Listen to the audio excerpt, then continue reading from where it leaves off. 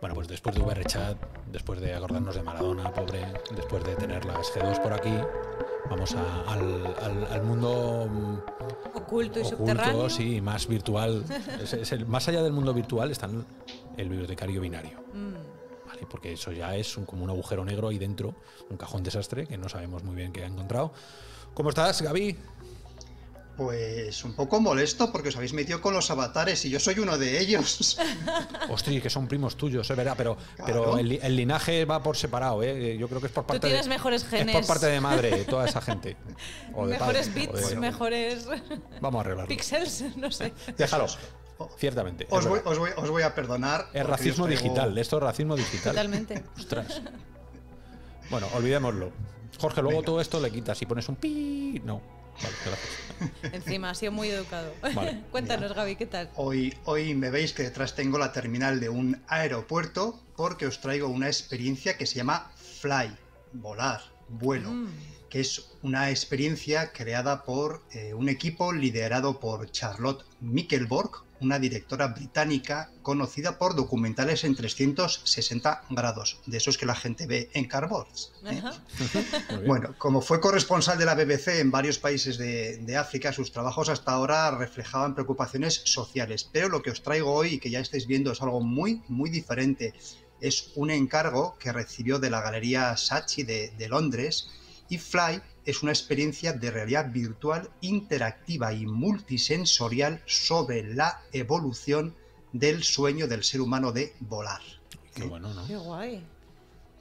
Es una pieza de unos 15 minutos de, de duración que formó parte de una exposición llamada Flight of the Future, que estaba patrocinada por, por British Airways y que estaba integrada en una instalación, ¿eh? por eso era multisensorial.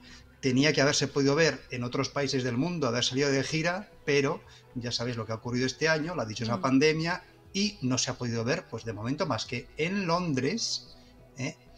o en nuestros visores. Uy, eso es lo que mola, ¿no? Claro, porque gracias a esta pandemia, entre comillas, muchos de los festivales de experiencias audiovisuales, como bien sabe Vero, se han hecho online y esos contenidos se han podido ver. Y justo el domingo anterior terminaba el Raindance Immersive Festival ¿Verdad? y Fly participaba en este festival y se ha llevado el premio al mejor documental VR. Qué bueno. Seguramente muy merecido. Sí, sí, porque es una experiencia muy interesante. Había, había- de Pues- hecho, sobre aviación, había otro también que, que tú estabas en la pista de aterrizaje, ¿no os acordáis de ese? Que ibas andando por la pista y te sobrevolaban, eh, pues salían, sí, los hermanos Wright, luego salían el espíritu de San Luis, luego pasaba otro, otro tal, luego un jet y luego un 747 y terminaba pasando el transbordador, el Columbia. Eh, o sea que la aviación es algo que, que- que- que es verdad que, que pone mucho en VR, ¿no? Oye, Fly Simulator sale, sale dentro de poco y ahí vamos a flipar. Pues Pero bueno, que nos estamos quitando, eh, perdón, Avatar, perdóneme usted. No, no. En, en esta, en esta experiencia, porque es más una experiencia que, que un documental, también salen los hermanos eh, Wright. ¿eh? Empezamos la historia de aviación con la máquina voladora de Leonardo da Vinci, esas alas de, de madera. Después ya pasamos al, al planeador de los hermanos Wright. Después nos dejan montarnos en un avión de, de hélice, luego en un avión comercial actual, en el Concorde y finalmente incluso en una aeronave del futuro que en la, en la- aplicación, en la experiencia, nos lleva de Reino Unido a Australia en velocidad hipersónica.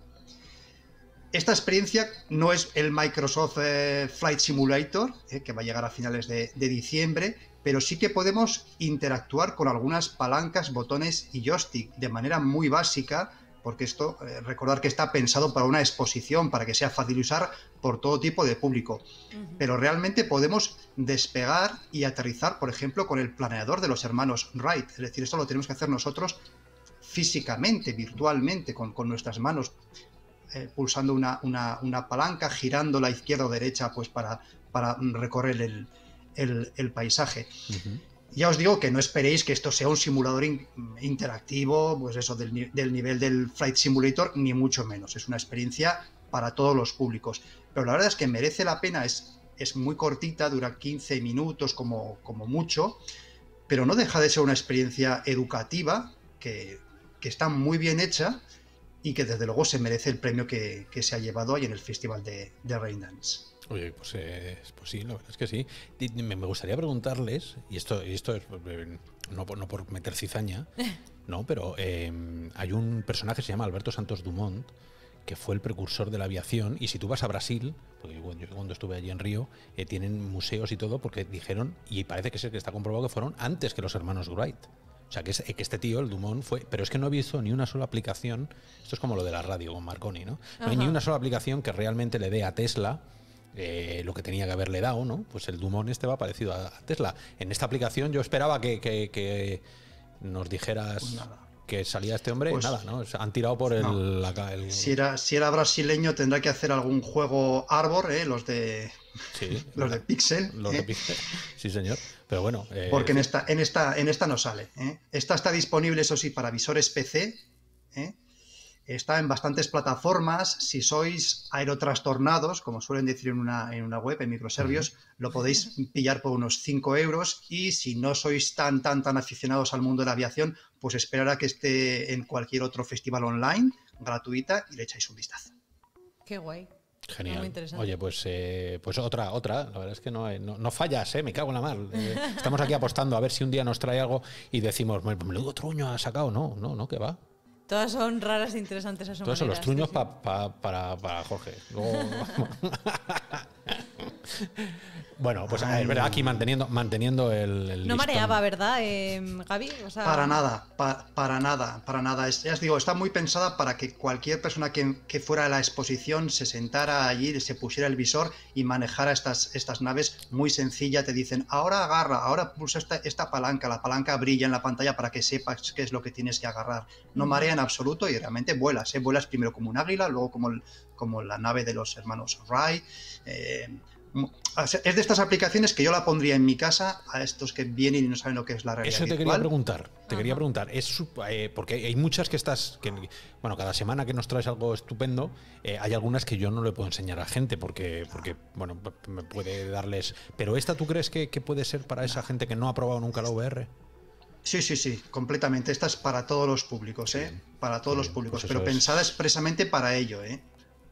Para los que quieran cumplir ese sueño de, volar, ¿no? En diferentes aparatos. Sí, sí, no, hace falta estar sentado, no marea en absoluto. ¿Y tiene, mucha voz en off? ¿Tiene voz en off? No, no, no, no, no, no, no, ningún, ningún, problema con, el idioma. Tiene alguna explicación, pero muy, o sea, no, no es, no te están contando de fondo lo que tienes que, hacer, la historia de la habitación con, con datos. Es, es completamente visual e interactiva, es sentarse y disfrutar 15 minutos. Genial. Bueno, pues como siempre os, pondremos el link abajo en la en la publicación cuando salga publicado para que os lo bajéis y lo, y lo probéis y nos contéis. nos contéis también, oye, se le puede discutir algo ¿eh? al bibliotecario venero, ponernos comentarios diciendo, esta no me ha gustado, esta, joder, bueno, si tenéis alguna sugerencia, alguna experiencia que os gustaría que intentara buscar o de alguna temática, en Twitter él está accesible para que le mandéis sugerencias y peticiones. Eso es. Muy bien, pues eh, muchísimas gracias, Gaby, bibliotecario binario. esa, esa, pose no la habíamos visto. No, esa es nueva. esa es nueva, te la has currado. bueno, pues que, que vuele usted seguro y que vuelva a casa. A salvo. A salvo. Sí, señor. Venga, hasta la semana que viene. Hasta la semana que viene. Hasta luego.